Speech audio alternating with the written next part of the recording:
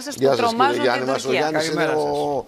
Εδώ είναι ο, στρα... ο, στρα... Ο στρατι... στρατιωτικός αναλυτής πρόσεξε του θα πεις. Sky. ο... Ναι, Πρόσεξε θα Ε, πεις. ετοιμάστηκα να το πω. το κατάλαβα. Στρατιωτικός αναλυτής. λοιπόν, για πες μας εδώ, βλέπουμε Λοιπόν. μια φάλαινα εδώ. Τι είναι αυτό, Ε, υποβρύχιο. εντάξει, μεταλλική φάλαινα. Μεταλλική φάλαινα. Λοιπόν, ε, καταρχάς είναι κάτι που δεν ξέρει πάρα πολλοί κόσμος. Ότι η Ελλάδα και η Τουρκία έχουν τους δύο μεγαλύτερους στόλους υποβρυχίου στη Μεσόγειο. Έχουν πιο μεγάλο στόλο υποβρυχίων από την Ιταλία ή τη Γαλλία. Τη Γαλλία. Αν σας λέει Ναι. κάτι αυτό.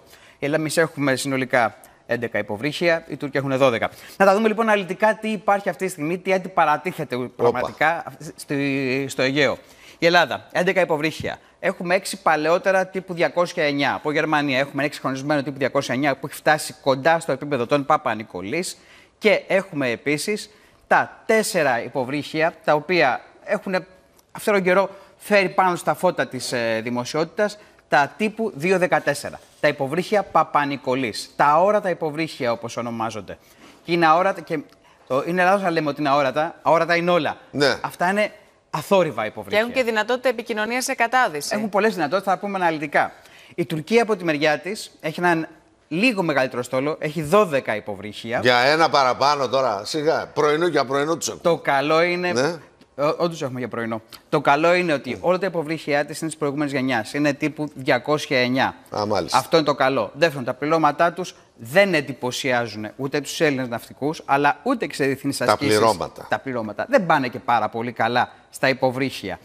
Λίγο Είναι και μαριάζονται στη αυτά θάλασσα που λέει. αόρατα ο- στα εχθρικά ραντάρ; Ε, όχι. Είναι παλαιότερου τύπου.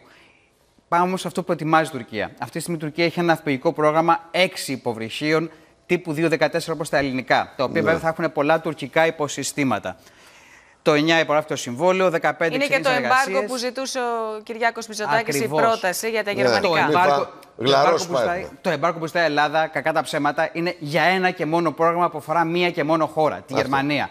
Θέλουμε να, επα- να επεκταθεί το γερμανικό εμπάργκο που υπάρχει ήδη σε χερσαία και αεροπορικά συστήματα, να πάει και σε ναυτικά συστήματα. Αν αυτό γίνει, αυτά τα έξι υποβρύχια θα μείνουν και θα σκουριάσουν στο Ακολουθώντας ναυπηγείο. εννοείς το παράδειγμα των F-35 από τις ΗΠΑ. Οι, οι ΗΠΑ είναι πολύ πιο απόλυτες. Συγγνώμη, τούτα εδώ, τούτα εδώ θα τελειώσει το 27. Ε, όχι.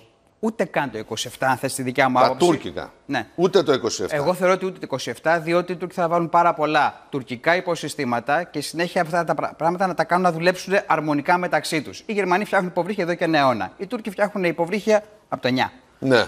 Οπότε, εγώ θεωρώ ότι θα υπάρξουν τρομερές καθυστερήσεις. Ήδη το χρονοδιάγραμμα είναι πίσω, αλλά τέλος πάντων δεν μας νοιάζει αυτό. Το θέμα είναι αυτή τη στιγμή να μπλοκάρουμε με κάποιο τρόπο το πρόγραμμα το οποίο μακροπρόθεσμα μπορεί να Δεν ξαναδώσει. πρόκειται. Δεν πρόκειται. Πάμε παρακάτω. Δεν είμαι τόσο σίγουρος γι' αυτό. Θα δούμε. Εξαρτάται Υπάρχουν και πόσο θα πίσω θυμώσει η αισιόδοξος. Ευρώπη.